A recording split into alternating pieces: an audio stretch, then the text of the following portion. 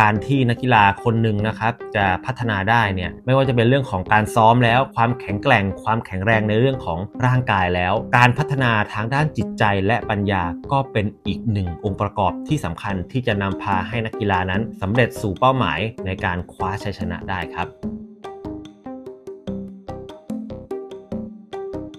คาวาไทยแลนด์ศูนย์รวมอุปกรณ์ไอที แกจ็ต และหูฟังบลูทูธ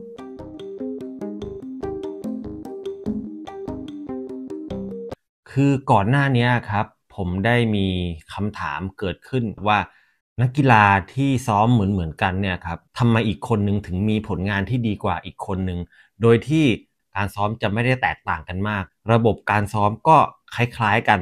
วิทยาศาสตร์การกีฬาก็ไม่หนีกันมากแล้ว เพราะว่าในยุคนี้นะครับ ก็เทคโนโลยีก็ทันกันหมด แล้วก็ผมพอดีว่า พอสนใจเรื่องนี้ก็เลยเข้าไป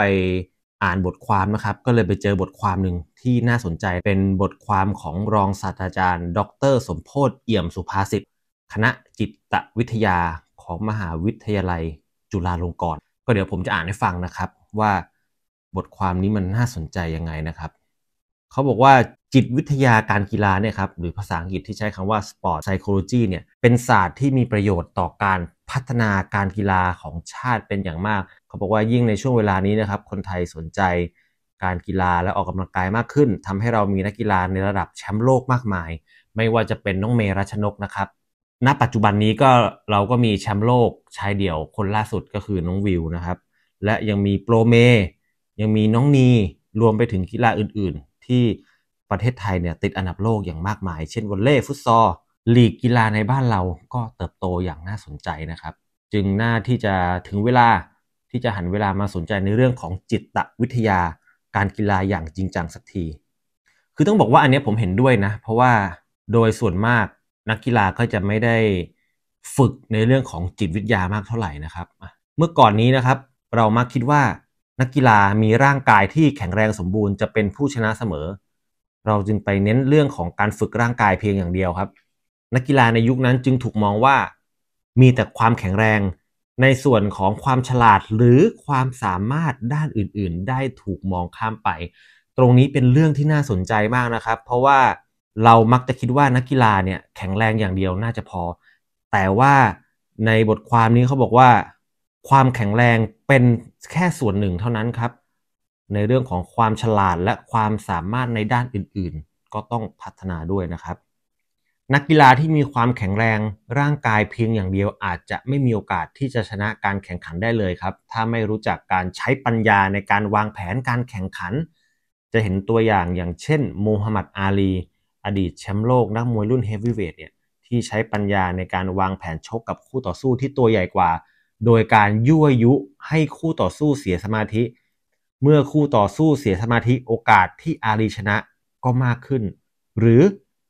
อย่างเช่น ถ้าเราดูการแข่งขันเทนนิสในระดับโลก เราจะสังเกตเห็นว่านักเทนนิสที่ควบคุมอารมณ์ได้ดีกว่า มักตีได้ดีกว่า ผิดพลาดน้อยกว่า จึงมีโอกาสชนะมากกว่า ซึ่งในกรณีของฝีมือก็ไม่ได้แตกต่างกันมากนะครับ ต้องทำความเข้าใจก่อนครับว่า นักกีฬาก็คือคน คนต้องมีทั้งร่างกายและจิตใจย่อมมีผลต่อกันและกันครับ ร่างกายที่อ่อนแอทำให้จิตใจหดหู่ในขณะเดียวกันก็จิตใจที่เบิกบานย่อมทำให้ร่างกายกระปี้กระเป๋าได้เช่นกันครับ และถ้าจะถามว่าร่างกายที่เข้มแข็ง แต่ว่ามีจิตใจที่หดหู่ มีโอกาสเป็นไปได้ไหม แล้วคนที่มีร่างกายที่อ่อนแอ แต่มีจิตใจที่เข้มแข็งจะเป็นไปได้ไหมคำตอบก็คือเป็นไปได้ ถ้าเป็นไปได้คำถามที่ตามมาก็คือ คนที่อ่อนแอกว่า แต่มีจิตใจเข้มแข็งก็จะสามารถมีโอกาสจะชนะคนที่แข็งแรงกว่า แต่มีจิตใจที่หดหู่กว่าได้หรือไม่คำตอบก็คือเป็นไปได้ครับ ถ้าอย่างนั้นสภาพจิตใจร่างกายของนักกีฬาก็สำคัญกว่าสภาพร่างกายอย่างนั้นนะสิก็ไม่เชิงนะครับเขายังบอกต่อว่าความจริงแล้วทั้งร่างกายและจิตใจของนักกีฬาควรจะต้องสอดคล้องกัน โอกาสที่จะชนะการแข่งขันจึงจะเกิดขึ้นได้นะครับ ก็เรื่องของศาสตร์ทางด้านจิตวิทยานะครับ ก็ได้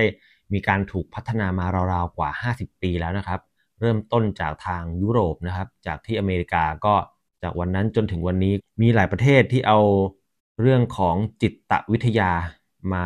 พัฒนาผสมผสานของนักกีฬานะครับ ปัจจุบันนี้ครับ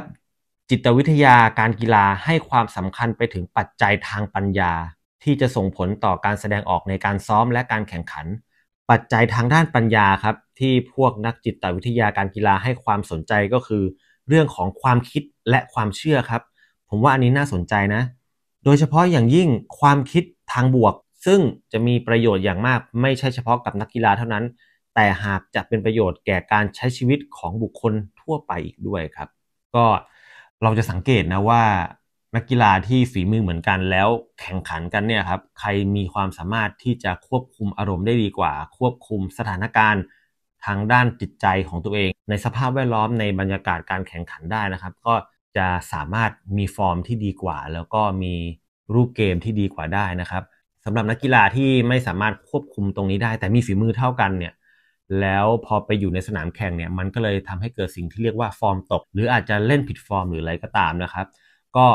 ยังไงก็แล้วแต่ผมก็คิดว่า